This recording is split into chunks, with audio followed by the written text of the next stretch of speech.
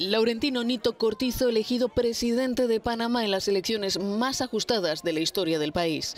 El empresario y exministro socialdemócrata del Partido Revolucionario Democrático ha sido proclamado vencedor de los comicios, tras vivirse momentos de confusión porque el ente electoral no acababa de anunciar el nombre del ganador.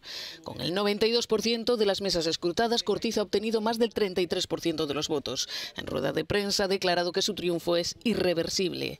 Sin embargo, su principal rival, Rómulo Rú, que obtiene más más del 31% de los votos, denuncia irregularidades. Su partido, Cambio Democrático, asegura que se han impugnado resultados en algunos distritos importantes de la periferia de la capital. En estas elecciones, más de 2,7 millones de electores panameños estaban llamados a las urnas para elegir presidente y vicepresidente, pero también diputados de la Asamblea Nacional y del Parlamento Centroamericano, así como representantes locales.